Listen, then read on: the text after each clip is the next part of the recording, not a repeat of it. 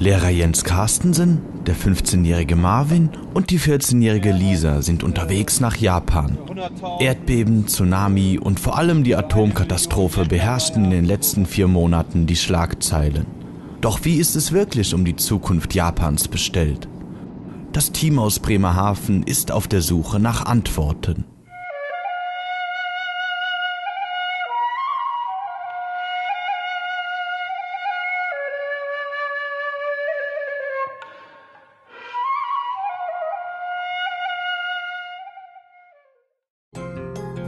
Tokio.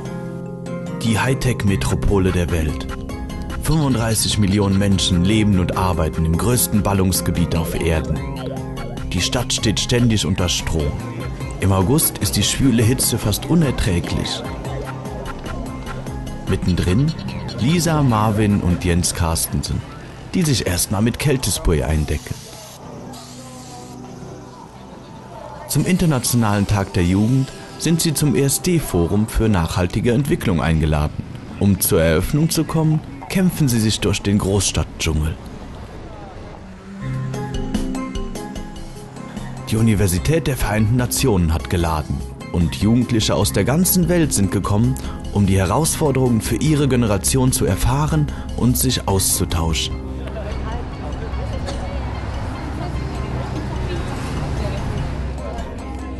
Lisa und Marvin sind die jüngsten Teilnehmer. Doch der Kontakt ist schnell hergestellt. Irgendwie sind die Japaner aber nicht so, wie sie es erwartet haben.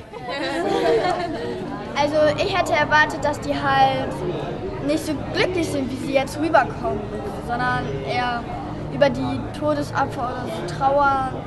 Nee, ich hätte erwartet, ja, halt auch mehr Trauer. Und das, ähm, also beim Fußball gibt es ja auch, dass sie so ein schwarzes Band umhaben, dass sie vielleicht irgendwas Schwarzes anhatten, dass sie für die Opfer trauern. Und ja, das so machen sie überhaupt nicht den Eindruck. Sie wirken halt fröhlich. Eine Folge von Fukushima spüren sie aber trotzdem. Alle Klimaanlagen wurden von 25 auf 28 Grad gestellt. Das Land muss Strom sparen. Henning Stöcks, der Veranstalter des ESD-Forums, sieht darin jedoch auch eine Chance. Very fruitful discussions here. It's a time to think clearly again what is necessary, what to do next, how we want to live. Young senior people across all nations. Doch es wird nicht einfach für die nächste Generation, erklärt der japanische Botschafter Mutsuyoshi Nishimura. I believe pricing is so crucial for enhancing sustainability. What happens to the poorer people who cannot pay those prices? Demography. You all know we are having huge problem, jumping from 6.7 billion population worldwide, maybe becoming uh, uh, 9 billion soon. So how we are going to cope this? Das National Olympic Memorial Center. Hier findet das ESD-Forum die nächste Woche statt. Und hier gehen Lisa und Marvin ihren Fragen nach. Welche Folgen hatte der Tsunami? Wie geht es den Japanern heute? Und welche Perspektiven gibt es? Studenten der Universität Tokio berichten von den großen Folgen wie der Diskussion über Atomstrom und dem Wechsel zu erneuerbaren Energien, aber auch von den kleinen Folgen, wie dass aus Energiemangel die öffentlichen Toilettensitze nicht mehr beheizt sind. Japan is a country with less mineral resources. They have no oils, uh, they have no gas and coal, so they depends much on the nuclear energy. If they want to abolish uh, nuclear energy uh, totally dismiss them from the energy system, there'll be uh, a great problem for Japan uh, in the future. Eines der größten Probleme infolge des Tsunamis ist die Wasserversorgung. Marvin fragt genauer nach. Can you tell me something about the salts and sweet water or the drink water after the tsunami? Okay, so one qu- one big problem is groundwater quality is 30. Its taste is salt. In the second big problem is the, they have the no access to get drinking water because the pipe is polluted by the tsunami. In the third one is uh, the water is polluted by the seawater, so they have the some the cold and headache, and they have the many accident is happened in human bodies. This is really big problem. Uh, what is the big problem about this seaweed? 海の中に津波でいろんなものが溜まってしまって、えっと、それを取らないと、えー港が再開できないという状態で、えっと、海の産業はそれが影響が出て今行えないということになっています。Das wollen Lisa und Marvin genauer wissen. Wir sind zu Besuch auf dem Großmarkt von Tokio. Waren werden hier im Akkord verladen und verkauft.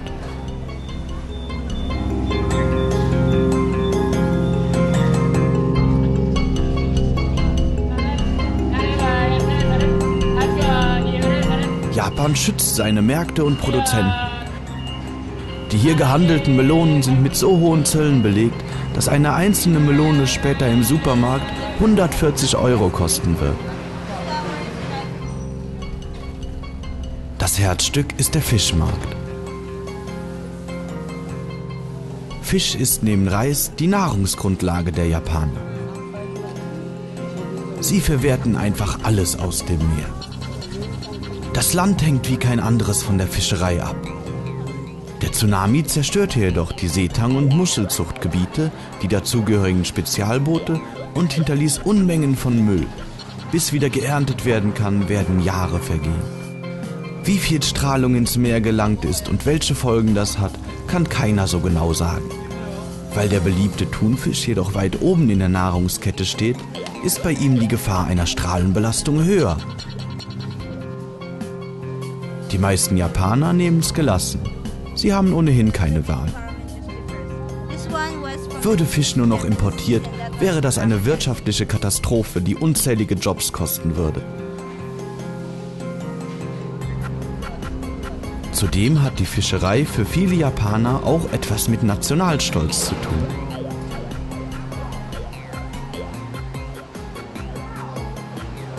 Der arme Fisch. Also Ja, sogar so ein er Messer sagt im das. Mund. Ja gut, ist normal, ne? Von dem Guide wollen Lisa und Marvin wissen, welchen Effekt die Katastrophe auf den Markt hatte und ob der Fisch verstrahlt wurde. そのためにあの辺の三陸海岸の産地からの荷物が確かにここには来なかったです まあでも例年に比べたら2割ぐらいは確かに減ったでしょうね。1日あたりのね,、うん、ね。それからイワシ、えーイワシとか、あーシラス干し、はい。そういったのが確かにあの放射能で汚染されてちょっとねあこれはまずいなということで、まあ、入荷はもうねあのはい。噂でもって放射能を食べてどうのこうのって、まあ、確かにそれは、うん放射能も含まれてましたよねですから人間は今私たちだってここの空気の中に放射能があるわけですよ、だから息をしないわけにいかないで死んじゃいますから。ですからそれを予防。予防するのにはどんな食材がいいか。日本には、はいそういうふうにしてお味噌を食べるのもその放射能を予防する免疫力をつける Bis zu 60 Gigawatt Strom lassen Tokios Lebensadern pulsieren. Tokyo Electric konnte im August aber nur 55 Gigawatt liefern. Die Regierung hat deshalb alle aufgefordert, freiwillig den Stromverbrauch um 15 Prozent zu senken. Da haben die doch auch schon die Lichter ausgemacht. Einige Leuchtreklamen strahlen nur noch zu Stoßzeiten und das einheitliche Wochenende wurde abgeschafft. Autofabriken machen am Donnerstag und Freitag frei, Mobilfunkprovider haben das Wochenende auf Montag und Dienstag verlegt und Schichtarbeit soll den Nachtstrom effizienter nutzen. Plötzlich kommt uns eine Anti-Atom-Demo entgegen.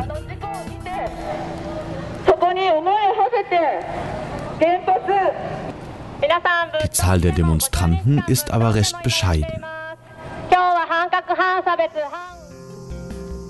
Zurück beim ESD-Forum. Lisa und Marvin wollen jetzt mit einem Experten über Atomkraft sprechen.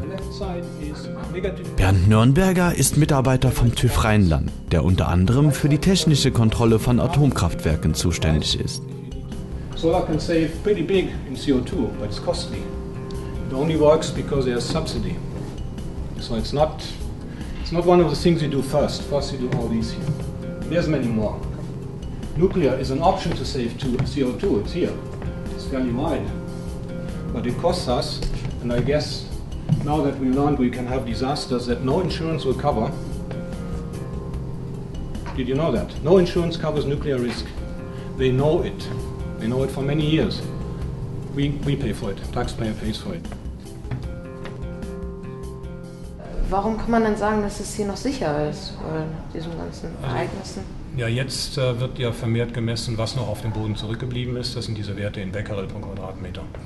Und da gibt es einen Wert in München. Da waren zehn Jahre nach Tschernobyl 19.000 Becquerel pro Quadratmeter. Kann man nachlesen beim Bundesgesundheitsamt auf der Webseite. Äh, weltweit, das ist der Wert von Norddeutschland, den gibt es weltweit, sind 4000 Becquerel pro Quadratmeter. Das ist übrig geblieben von den 2000 Atombombenversuchen. Das hat sich überall verstreut. Das ist also der Hintergrund, den haben wir überall.